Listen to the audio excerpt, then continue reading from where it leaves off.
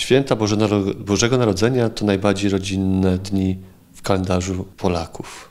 I właśnie takiej rodzinnej atmosfery życzę wszystkim mieszkańcom miasta gminy Pelpin, abyście razem zasiedli przy wspólnym stole, który będzie Was łączył, bez poruszania trudnych tematów, zbędnych dyskusji, które dzielą, ale w prawdziwej, życzliwej, rodzinnej atmosferze, przepełnionej prawdziwą radością z narodzin Jezusa Zbawiciela.